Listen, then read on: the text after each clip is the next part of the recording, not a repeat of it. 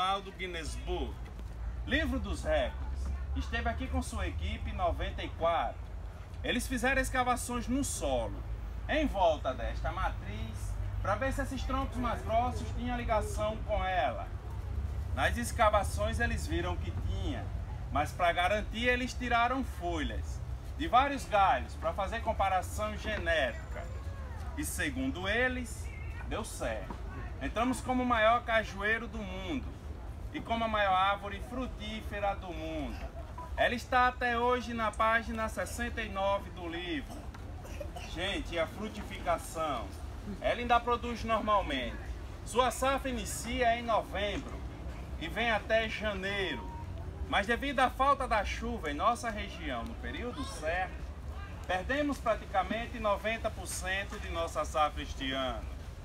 Mas em uma boa safra, ela já chegou a produzir de 70 a 80 mil frutos, equivalente a duas toneladas e meias de caju.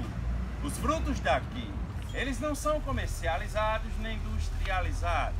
São todos para os visitantes que vêm conhecer a árvore no período da safra. A fruta, gente, temos uma réplica aqui do nosso fruto. Brincadeira, tá, gente? O fruto ele ficou normal. Do tamanho de uma maçã média, de cor amarela. A fruta ela não sofreu nenhum tipo de alteração. Só que a gente aqui do parque recomenda que os visitantes ele não chupem mais de que três frutos daqui ao dia. Por quê? Para não vir sofrer desta anomalia e desenvolver galhos em locais que não desejam. Brincadeira, tá, gente? O suposto plantador da árvore. Não sabemos ao certo quem plantou. Como essas árvores são típicas da região do Nordeste, aqui em nossa região praticamente elas surgem do nada. Onde passamos é possível encontrar esses pés de cajueiros. Só que aqui no parque temos duas hipóteses. A primeira é de um senhor. Ele era pescador e dono dessa propriedade.